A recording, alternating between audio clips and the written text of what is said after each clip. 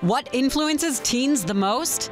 This part was this is what I, I, think I worry about more than anything because it seems so out of control, out of our own control. You're gonna like my answer. Okay. The strongest influence, according to Dr. Lisa Damour, may surprise you.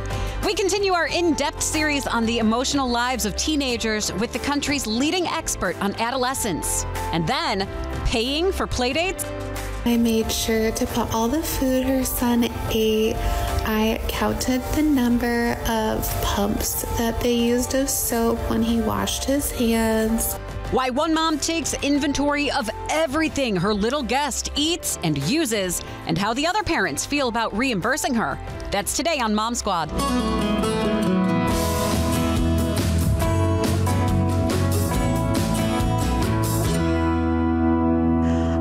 Everyone. Thanks for joining me here on Mom Squad. I'm Maureen Kyle. Hopefully, you caught last week's episode where we took a deep dive into teens with their emotions with Dr. Lisa Damour. She is one of the nation's leading adolescent psychologists, the author of three New York Times bestsellers about teen development, and as she revealed to us, Disney's go to expert to develop Inside Out 2. Lisa was chosen to develop what 13 year old Riley would be going through and the new emotions that pop up in those early teenage years. Our discussion was so insightful, I had to break it up into two episodes. Last week, we talked about what teens experience internally when it comes to brain development, what they're thinking, and how they view the outside world. But we all know that they take a lot of cues from external factors like friends, social media, even us as parents. Take a listen to my discussion with Dr. Lisa Damour. There are there's a lot going on internally in their brains. But then in your book, you also talk about all the external factors that play into how they're developing emotionally. Mm-hmm. This part was.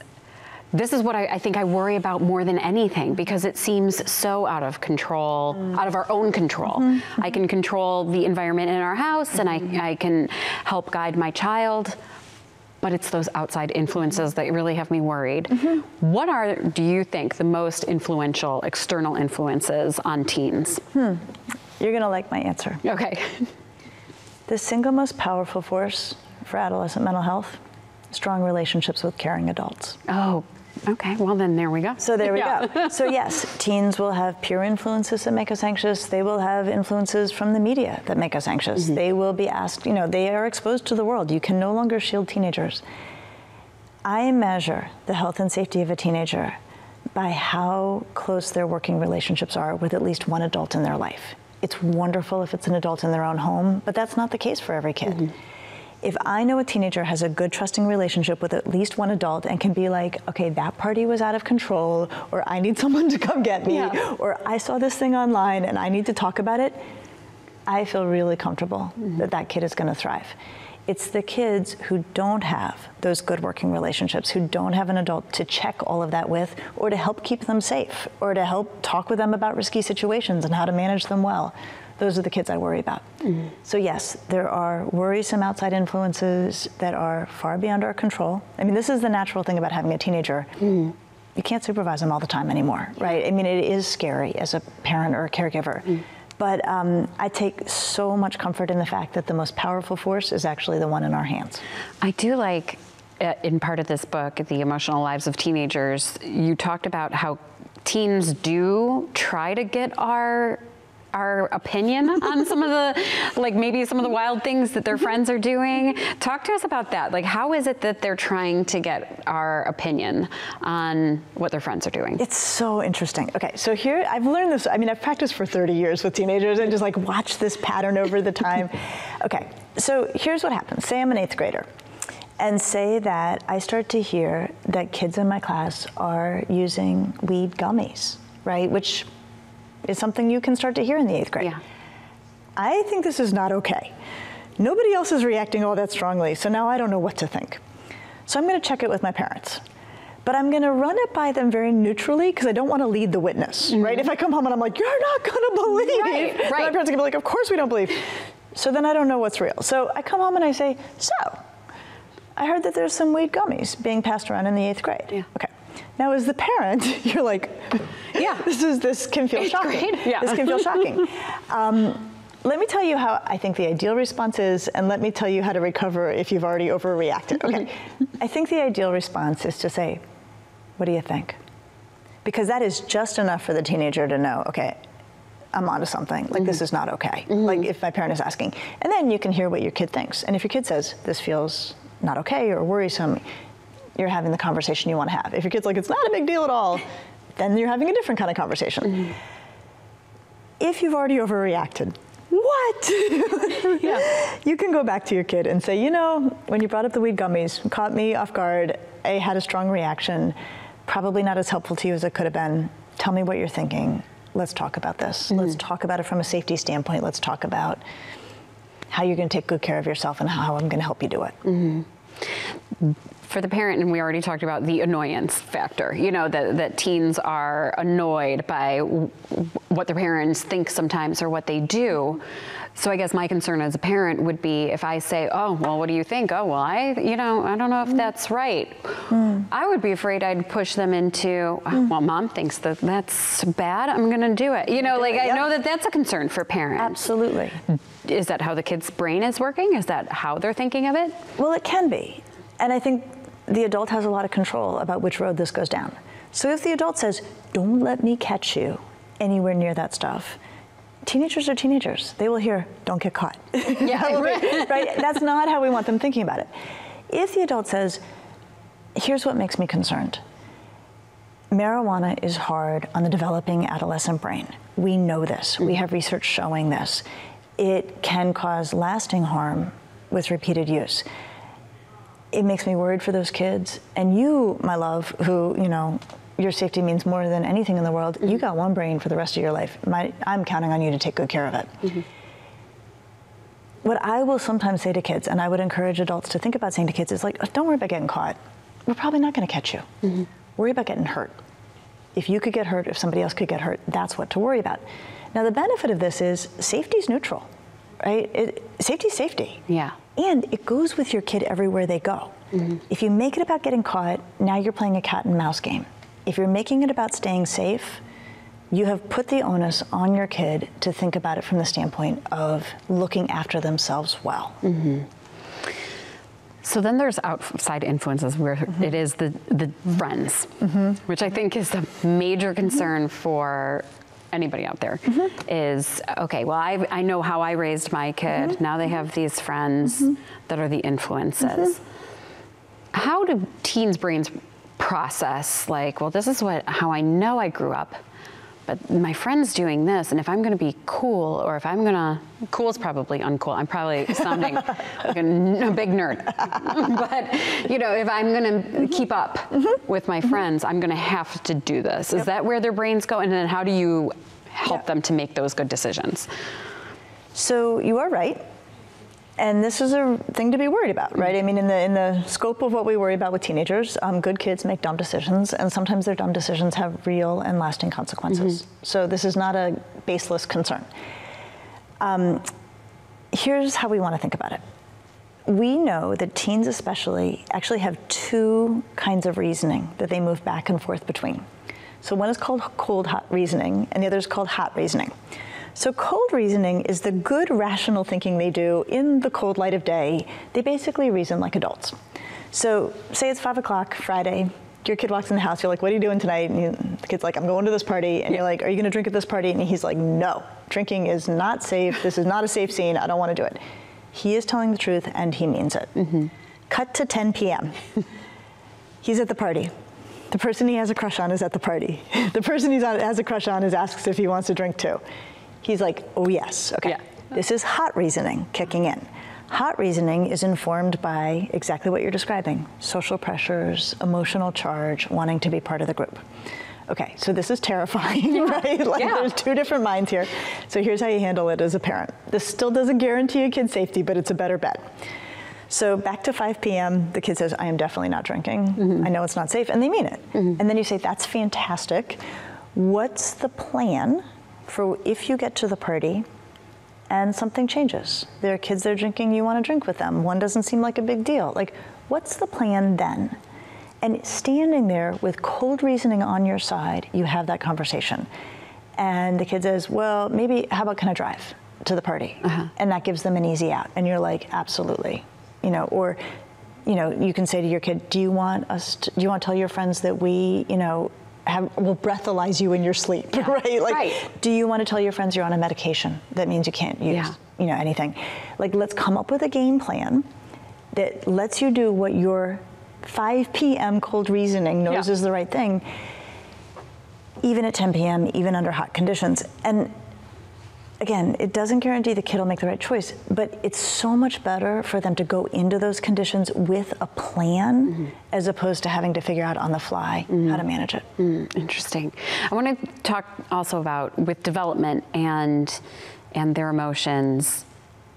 Something like bullying or and tell me if, if, there's something else that would really affect their emotional mm-hmm. development. But I mm-hmm. can already picture the teens who maybe, you know, they were bullied. So then, then you can just tell that emotionally they have retreated into mm-hmm. themselves or something. As a parent, when you start to see those those type of um, influences of the, just the whole social structure of school.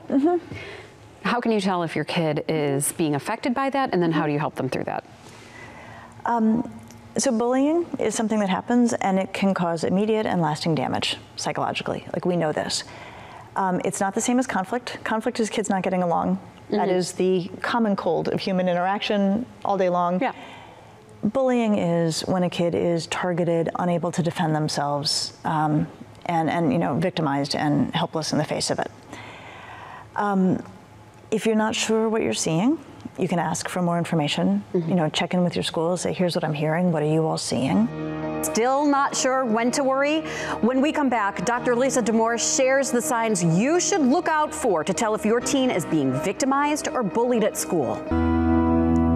Welcome back. In case you're just joining us, we've been getting expert insight into your teen's emotional life from Dr. Lisa Damour. In fact, we had so much to discuss. This is part two of our series with her. We talked about what emotional signs to look out for if you suspect your teen is getting bullied at school. Take a listen. For teenagers, mood should be all over the place, mm-hmm. right? They Yeah. should be like It's- so we should low. expect the roller Yes, coaster. Yes. Okay. Really low, and then five minutes later, Taylor and Travis have a new photo online, and Yeah. like the world is great again. And Yeah. then there's bad news.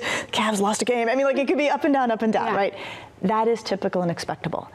If your kid's mood is low, or blank, or wildly cranky Mm-hmm. for an extended period, and by extended period, I mean we could be talking 36 hours. If you know your kid and you're like, this is not my kid, that is not typical. Mm. So the when to worry is if mood lodges in a concerning place and isn't moving. If mood is like this, Mm-hmm. Yeah. We're fine. Wednesday. There's nothing special about that. It's so funny that we should want that. We Yeah, should no, want the roller coaster. That's adolescence. Um, social media, technology. Now, this is something we. we could do, uh, you know, every day, all day on social media, teens and how it's influencing. And I just think that um, we can't talk about it enough just because I didn't grow up with it. Mm-hmm. So I won't have a base knowledge of how I handled it at age 12, 13, 14 to help guide my kids. So this is wild, wild west here. Um, how does it affect? Mm-hmm. And we, I know that we can't lump in just technology with social media. So, however you need to divide it up, but how do, how does that, as an external mm-hmm. influence, um, shape their emotional development? Um, So the truth is, it's murky. When we look at the data and we look at broad studies that are well done, we get all of these mixed findings. Mm-hmm. And that's because for any kid, and they will tell you this, social media is simultaneously positive and negative. Mm-hmm. Any kid will tell you this. They love it and they hate it. Yeah. They have a great time. They see things they wish they'd never seen. Like this is all Yep. coexisting. So when we go to study it, we get these murky results. Here's how I want adults to use what we know to take good care of kids around social media. So the first thing I would say is delay until at least age 14, at least. Um, and the reason for 14 is that's when kids actually get more skeptical about the world. They start doubting and questioning everything, which is at times annoying at home, but actually really useful online. Um, when you do grant access to technology for your kid, don't let them take it in their bedroom. This rule alone keeps them making better choices, preserves sleep, which we know is incredibly closely connected to mental health. And don't let technology get in the way of the things that we know are healthy for kids to do. Get enough sleep, see their friends, be physically active, help around the house, help around the community, focus in a, you know, when they're studying. We don't want tech crowding those things out. Mm-hmm. Now, it's hard to know when a kid's really ready for social media, but one of the things I've started to think about is like, we worry about the risks, right? Social media comes with risks. Yeah. There's no question about it. Teenagers and risks, that's not a new topic. And we can use what we know about thinking through risk to inform decision making here. So I'm increasingly thinking of social media, it's like a high school party. Mm-hmm. Right? Mm-hmm. Kids want to be there and things can go wrong, right? Yes. That is how Yeah. it goes at high school. They want to be there, and then they see something where they're like, "Oh gosh, what did I Oh get gosh, myself right? into?" Yeah, exactly. So okay, so who belongs at high school parties? Not eighth graders, Yeah. right? And, Yeah. and for that exact same reason, like you need a certain amount of judgment and caution and skepticism. Okay, which 14-year-olds should go to high school parties? Well, really level-headed 14-year-olds who will call an adult if something goes wrong. Those kids can probably reasonably be allowed to go to a high school party within reason. There are 17 year olds who should probably not be at high school parties Yeah. because they are too impulsive, go find the wrong corner every uh-huh. time, or aren't going to use an adult for safety. Yeah. So people know their kids, people know their teenagers. I think neurologically, 14 and after is where we should start thinking about social media. But would you send that kid to a high school party? And if the answer is no, they're probably not ready for social media. I love that analogy. That is such a great way to think about it too. Well, and I think it gets to what you said that, Yeah. You know, I didn't have social media, right? I'm 53 years old, right? Like, I, didn't have anything. Yeah. And so we look at it and we're like, oh, this is so foreign, this is so strange. But what if we say, but risks in teenagers aren't new? Mm-hmm. And teenagers wanting something the adults don't want them to have, that's not new either. Yeah. We can bring all of our intuition and all of our experience and all of our reasoning from those things to help us think about social media. Yeah. You have a lot of resources for parents in a lot of different ways. And I think that that also parents having this knowledge and knowing how to approach it, our emotions and how we handle it, mm-hmm. how much of that is an mm-hmm. influence mm. on how they're developing? Like if, if we're more knowledgeable, mm-hmm. how much of our own Huge. parenting maturity influences their emotional development? Um, I believe it's a huge factor. And I think that teenagers can seem mysterious, but they're actually, there's some new things. Teenagers are teenagers. There's a lot that we know. So I feel like there's real value in having information and not feeling like you're doing this alone or for the first time. No one, you know, like no one's ever seen a teenager before. We've seen lots of teenagers. Yeah.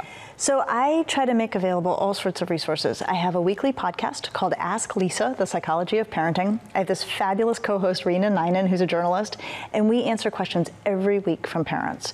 Um, and their episodes are short. They're like 30 minutes, and there's 170 of them. So your question has probably been answered somewhere along the way. Yeah. Um, that is available everywhere people listen to podcasts. Um, I have a weekly newsletter that summarizes the points from last week's podcast. It is free. You can sign up for it on my website. And um, so if you don't have time to listen to a podcast, you get the information that way. And my website is just a ton of resources. All of the writing I've done over time for news outlets, new content that I have for families that's videos that they can look at themselves, show their kids. I'm really trying to make it available in a wide variety of ways um, to meet people where they are. Yeah. I mean, we could go on for hours and hours here. Um, Lisa, thank you so much. I mean, this has been so insightful on from everything from how their brains are working to how we need to react and how we need to approach everything. Thank you so much. This has been great. Thank you for having me. Sure. Again, a big thank you to Dr. Lisa Damour.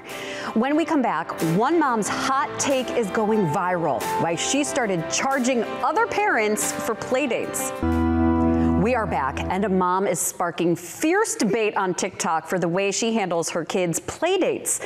She started charging parents for things like what their kids ate at her house, sharing screenshots showing the Venmo requests that she sends to parents. She listed out nine items that she had charged for, including snacks, soap, and electricity. I made sure to put all the food her son ate. I counted the number of pumps that they used of soap when he washed his hands. They played video games for 45 minutes, so I calculated how much that electricity cost was and then divided it by two. In total, she added up the cost to $36. She texted the other parent about the cash, who was not happy about it. She accused her of price gouging to make money. All right, so I needed to bring in Jenny Jordan on this, our executive producer, my co host on occasion, to talk about what do we think about this? What was your first reaction? Because you're the one who brought it to my attention. I was shocked. Yeah. shocked. Yeah. Um, it's one of those things that maybe you, maybe in my deep, dark mommy brain, I've thought about doing that.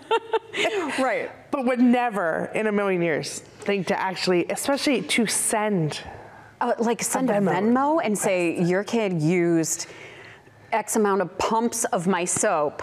So you need to reimburse me for that. I think that's much. That's a little much. Plus, my initial reaction was, I have guests over. I invite people over all the time. I don't know who initiated what play date, but I feel like when you say, come on over my house, you're expecting, I mean, electricity. I, I don't even know what to think of that. Like, you're going to use the electricity anyway. It's not like, How do you know? how do you know? Right. I don't even know. they use. yeah, how do you? Is it because this kid doesn't turn off the lights? I don't. I don't, know. But like, so that's extreme. The, I feel like the soap is extreme. The snacks. I mean, we've all been there where it's like you end up with all the kids at your house, and all of a sudden, you know, fifty dollars worth of snacks are gone. Right. But I feel like that's just understood when you have guests over. I would never have a dinner date or like invite friends over for dinner. And be like, so by the way, that risotto I made, I worked it out. It's twelve dollars each. Send me, Right. you know what I mean? Right. Here's your check. Do you guys want to split it, yeah, or who's doing it? No, it's sort at of your like house. a courtesy. It's a, like a, it's an etiquette thing, right? Well, I think that's a big part of it. If you feel that you're going to do that, you need to tell people up front. This mom did not know that it was going to happen, and she was mad about it. And I thought, yeah, I would be pretty furious. Right. And all of a sudden, your kid's not going to have too many friends. I hate Yes, to nobody's going to want to play date. My question was, and I don't know if any in any other context she mentioned this, was it like a hey, can you watch my kid this day? Because I've had Oh. I've had other friends say, hey, you know, I'm stuck. Can you watch my kid? You know, or can my can Billy come over for a little bit? Right. And then if it's like, fine, but you're gonna pay, you know, I don't know. Did it come from? I a- didn't see that. I didn't don't see that either. And sure, sure, of course, you're only getting one part of the story, right? But Hmm. I mean, she felt it was okay to put out there, so we're okay to talk about it. Yeah, exactly. You know, I think that it's sort of an understanding, and you do have to have this, whether it's with your friends or, you know, the neighbor kids, and you know, we always have kids that are, oh, can I eat dinner with you, or can I eat Yeah. dinner? If it, we're making pasta, sure, the more the merrier. I have all of it, you know, whatever. But if it's a night where we got steaks to put on the grill and there's just not enough, then I feel bad, and I have to be like, well, Yeah. Sorry kids you know or whatever. So there's always that weird line. Um, i always laugh because we have a neighborhood pool right? And all the kids go to the pool.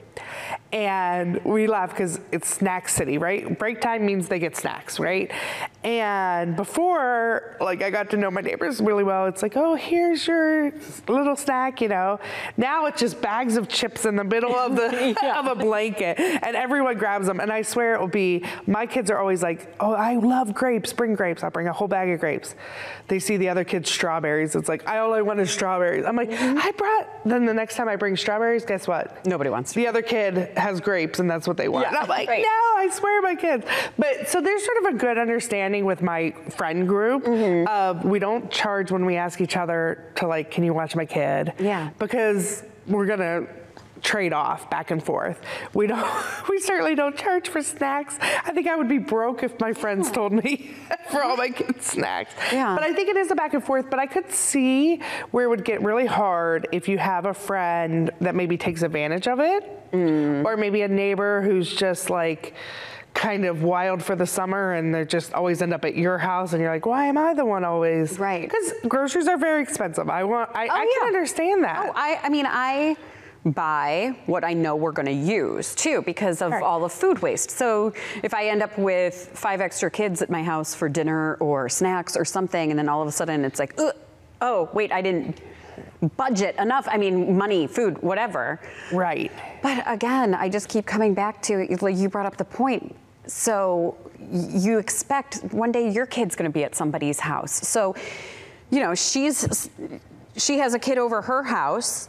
Well, guess what? Her kid is going to go to somebody else's house, and unless there's like a hey, here I'm, you know, I know so and so is going to eat. Here's 20 bucks. Like I, I just I feel like I want to cover whatever expenses. Right. She better be forthcoming with that. She better be like, here's some cash. yeah. But I don't know. Or I- she's sending her kid with their own food to someone's yeah. house. Do they? Do they? Sometimes yeah. I've had that. My friends are like, "Hey, do Yes. you watch my kids? I'll send over a bag of chicken nuggets I have, whatever." Right. I don't really need it, but it's a nice gesture, and Yeah. I can understand wanting to feel like, "Sorry, I'm putting you," in the, you know, Yes. but not ever expected. Never expected. I don't know. We want to know what you think too. Um, we're gonna, we're doing a social version of this, so we want to see what you have to think. Um, right below here, we'll put where you can find us on Facebook and Instagram, so that you can also weigh in. Did you ever encounter anything like this? Did you ever feel like you had to reimburse a parent, or I've even had parents offer like if, if I've taken the kid out for ice cream, like if we're all going out for ice cream. Yeah. I had a mom once that said, "How about I Venmo you five dollars?" Sorry, and I was like, "No, how about you don't? Like Yeah. one day you will take my kid out for ice cream." So what have you experienced in your own household with your kids and their friends? Um, do you have a kid who comes over the house and eats all the food? We want to know. And of Right, course, maybe you have a good tip for it. My one Yes. friend does something with. I'm sorry. No, go- to get us off track. No, no, no. But I, my one works. friend does this um, thing with her and her friends, and it's kind of their five dollar rule. If it's under five dollars, I'll never ask you for it. Mm-hmm. So if you pick me up a coffee, it's under five dollars. Maybe I'm not going to buy it for you. But if it's over five dollars, like we went to a fancy restaurant for, Yeah. they'll they always like pay. And I was like, oh, that's kind of a good rule of thumb. And it's nice that they talked about it, that they had a conversation about it. Communicate, right? Yeah. So Yeah. maybe other people have that. That's what I'm thinking. Tell Maybe us what you do. Maybe that's a cool way of uh, getting around these awkward experiences. Right. Oh, there's so many awkward experiences to talk about. Future Mom Squad episodes. Stay tuned. So keep the conversation going. Remember, you can catch us on your stream. You can catch us on YouTube. That's the show Mom Squad. And you can catch us on Facebook and Instagram. Thank you, Jenny. Thanks to all of you. We will see you back here next time on Mom Squad.